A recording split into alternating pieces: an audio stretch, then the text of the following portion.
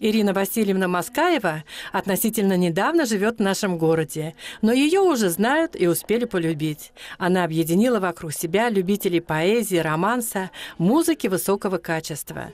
Свою работу в историко-культурном центре в качестве методиста она начала с приобщения к музыке детей начальной школы.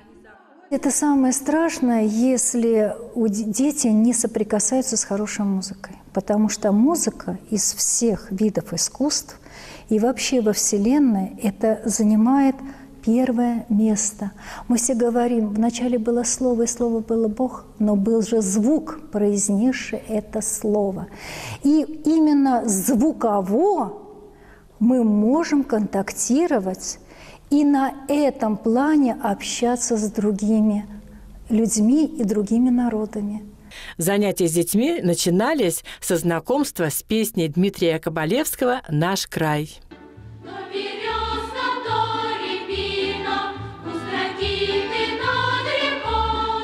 Эта песня была сочинена Дмитрием Борисовичем Кабалевским именно здесь, на нашей земле, поселок Ватутинки, где у него была дача – когда к нему пришли пионеры и попросили написать а, песню отрядную или для дружины а, при открытии лагеря. И песня звучит уже 80 лет. Работая с детьми, Ирина Васильевна параллельно стала проводить ретро-вечера для видновчан старшего поколения.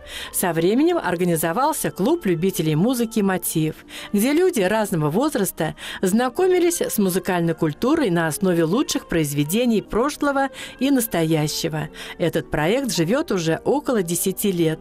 Он стал соискателем губернаторского конкурса «Наше Подмосковье». Сейчас Сейчас мы готовимся и приглашаем всех в гости 8 числа на творческий музыкальный вечер поэтов наших, поэтов, шкулевцев Ермолова и Владимира Ивановича Меньшикова мы будем проводить, где будут звучать песни на их стихи.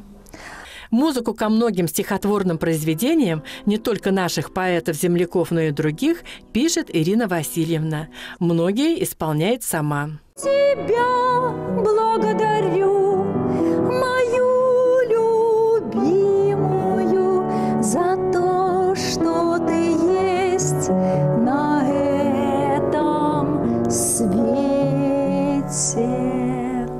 Это песня на слова Василия Федоровича Кузнецова, полковника в отставке, который предан памяти своей жены. Ириной Васильевной проведено уже более 200 ретро-встреч и тематических концертов, которые пользуются все большим интересом.